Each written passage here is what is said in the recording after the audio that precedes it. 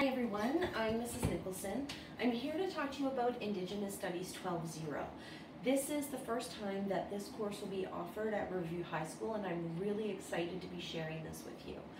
So if you are thinking about taking this class, um, if you're interested in learning about and furthering your knowledge on Indigenous history and culture in Canada, if you believe in social justice and equality, if you are curious about contemporary Indigenous issues such as treaty rights, the Indian Act, the effects of residential schools, missing and murdered Indigenous women, etc., that's just to name a few. Um, if you want to learn more about reconciliation and the roles that we play, or if you're a change maker, uh, then this course is for you.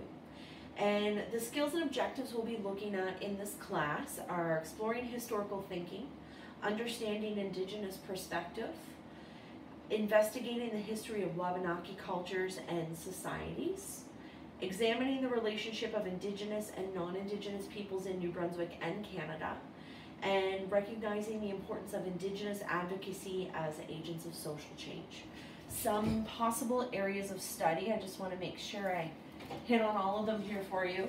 Uh, understanding living treaties, national inquiries, healing and reconciliation, demythologizing identities, uh, Indigenous veterans and global conflicts, Wabanaki peoples living in New Brunswick, Indian residential schools and day schools, contemporary Indigenous issues, government legislation impacting relations and Indigenous rights. So I really hope that you'll consider taking this course. It's going to be great. And if you are interested in history, especially local history, uh, this is a great course for you to consider as well. Um, as Judge Murray Sinclair said, education is what got us here and education is what will get us out. So please consider joining the class. Thank you for your time and have a great day.